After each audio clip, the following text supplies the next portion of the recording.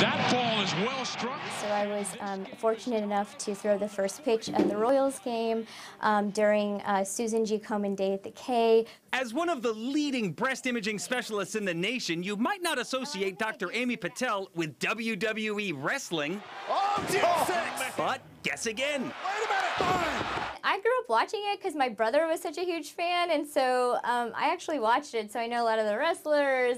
And now the WWE knows about her. For Breast Cancer Awareness Month in October, Susan G. Komen teamed up with the WWE to celebrate Champions of Hope. Dr. Amy Patel at Liberty Hospital made it to the top five mainly because of her unique story. Born and raised in Chillicothe, Missouri, Dr. Patel earned a prestigious job at Harvard, but she left Boston behind when she realized she could make a huge impact at home. When I was actually walking through Walmart in Chillicothe with my mom, and I saw a couple that we've known forever. And the wife said, You know, why are you out in Boston helping those patients? Why aren't you here taking care of us? You know, we're your family. And, and then I felt really guilty, like, gosh, why am I not home? She's making a difference at Liberty Hospital and in Jefferson City. Patel played a major role in getting many private insurance companies to cover 3D mammography here in Missouri and beyond. Kansas quickly followed. So the Kansas Insurance Department, not even going through the Kansas legislature, uh, they deemed that all private insurers in Kansas had to cover 3D. Because of Dr. Patel and her team, the number of patients at the Women's Imaging Center at Liberty Hospital went up 25% in just a year, with patients coming from all over the nation. So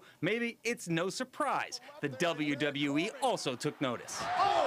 I think word is starting to travel.